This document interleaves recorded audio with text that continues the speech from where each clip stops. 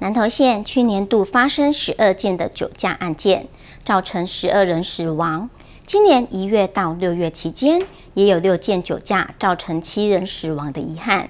因应酒驾死亡案件居高不下，南投县警察局交通队特别印制防酒驾宣传屏，到县内多家餐厅宣导，希望店家提醒顾客，若有饮酒就必须指定驾驶或代叫计程车。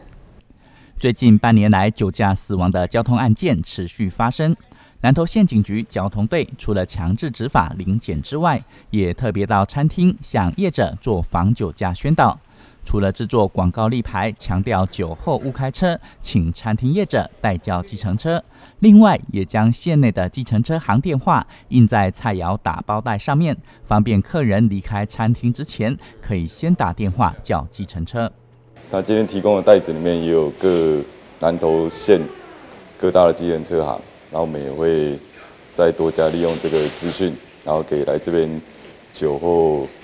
酒后的客人提供给他这些管道，然后多加的宣导。对，我们平常餐厅就平常就在做宣导，比如说像客人来的话有喝酒的话，我们就是说这样看你要指定驾驶，还是说要大叫自行车，这方面我们都有在跟客人做宣导。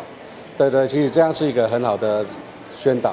咱南投县伫一百零五年的时候，因为车祸死亡的部分有十二件十二个人吼。啊，今年到即摆正月到六月吼，已经有六人六件七个人吼。啊，所以酒醉吼，居高不下吼。啊，阮有一个特殊的想法，讲做做迄个活动看板吼，啊，甲迄个打包袋，打包袋内底吼，即个讲酒后搭小黄，安心免盘黄。过来就是讲酒前 party，酒后 taxi 吼。过来就是第三部分，就是咱南投县所有的客停车吼的电话啊，来这指定个餐厅吼来做迄个打包袋甲活动看板的先导吼，叫咱人去啉酒，莫开车，开车莫啉酒吼，会损害家己甲民众吼。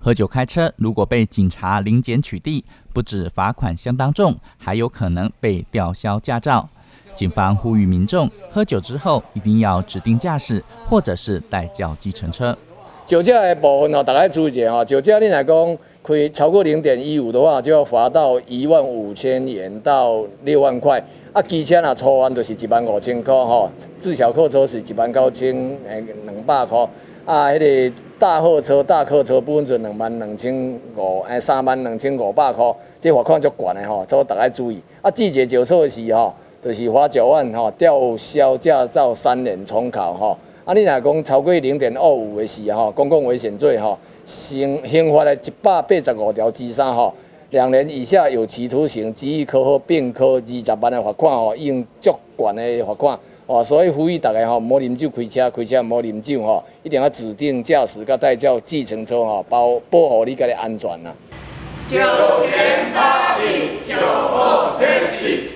县警局交通队表示。目前先针对南投市、草屯以及埔里镇这几个城市型乡镇做宣导，